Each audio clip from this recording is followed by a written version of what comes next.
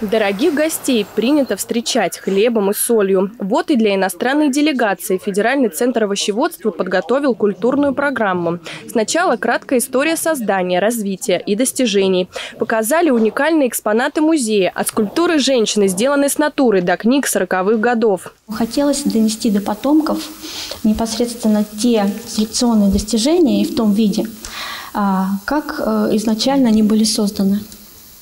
Здесь у нас представлены бобовые культуры, капустные культуры.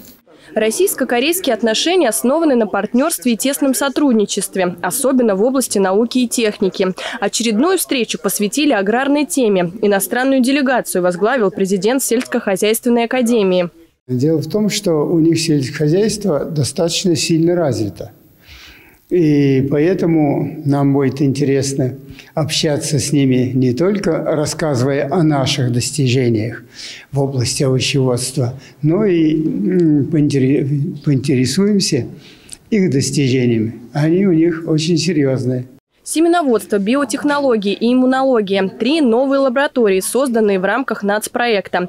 Задача ученых – ускорить селекционный процесс и сделать растения устойчивыми к болезням.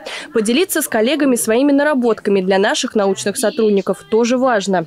Наночастицы сейчас далеко внедрились самое аграрное э, производство и семеноведение в частности. Мы насыщаем да, наночастицами семена овощной культуры, и они помогают э, семенам лучше это самое впитывать влагу, впитывать, сам, питаться, сам, ну, впитывать э, неорганические вещества из почвы. Более 14 тысяч санкций было наложено на Россию. Это стало настоящим вызовом для страны. Несмотря на все угрозы внешнего мира, ни о какой международной изоляции речи нет, подчеркнул директор института.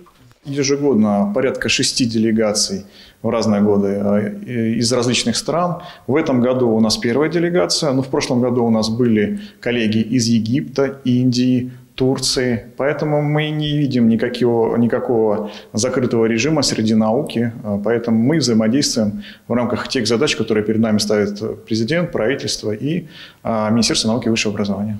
Импортозамещение идет полным ходом. Открытие, совершенствование наработок. Все идет по плану.